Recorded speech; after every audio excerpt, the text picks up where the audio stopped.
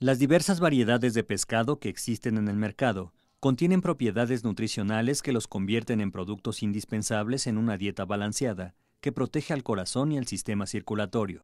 Aunque su consumo en México suele ser más frecuente en época de cuaresma, los especialistas recomiendan consumirlo todo el año, pues contiene los aminoácidos esenciales para el desarrollo, crecimiento y mantenimiento del organismo. Aumentar su ingesta tiene sus ventajas, pues proporciona grasas saludables como omega 3, un componente estructural del cerebro y de la retina ocular, y ayuda a proteger el corazón y el sistema circulatorio.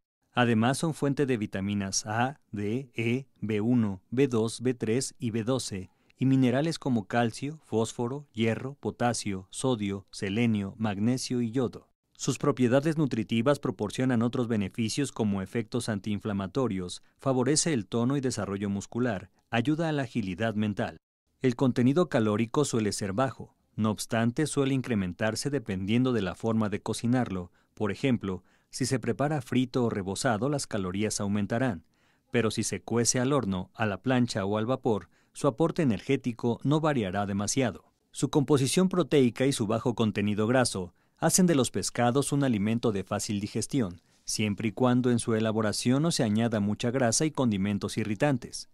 En México la oferta de cada temporada, además de ser amplia y variada, incluye especies económicas y ricas en omega 3 como trucha, jurel, peto, bonito, sardina, atún, sierra y macarela. La Profeco exhorta a la población a estar alerta de la calidad de estos productos, pues suelen descomponerse con facilidad y rapidez si no se encuentran en las condiciones necesarias de higiene y conservación.